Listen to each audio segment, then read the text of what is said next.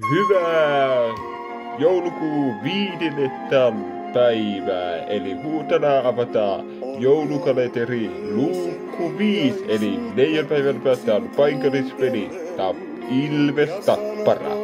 Eli mä olen siellä paikan päällä. Eli avataan luukku 5, että, että herkullinen luukku 5. Huomenna on itsenäisyyspäivä, mutta tänään on itsenäisyyspäivän aatto.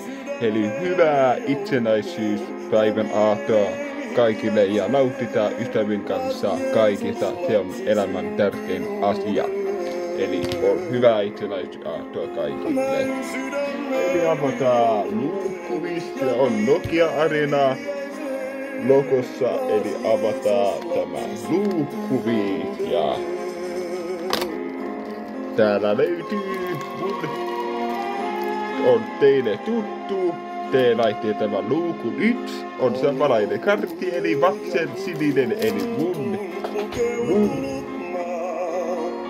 minun lempparikartti tästä luukusta. Vaksen aito sininen suklaa. Mun lemppari aito legendakartti, eli karamelli.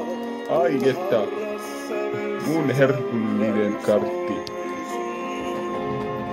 Et, joo. Elää, elää. 19 päivää enää jouluun ja huomenna tavataan taas, eli huomenna avataan kuudes luukku ja huomenna on itsenäisyyspäivä. Eli nautitaan itsenäisyyspäivätä ja mutta huomenna on CHL-pelejä, Jukurit ja Tappara pelaa.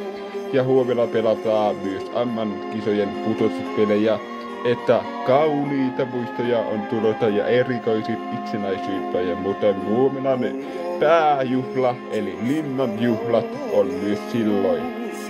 Että avataan luku huomenna kuusi, eli silloin on huomi, huomisen jälkeen 18 päivänä jouluun.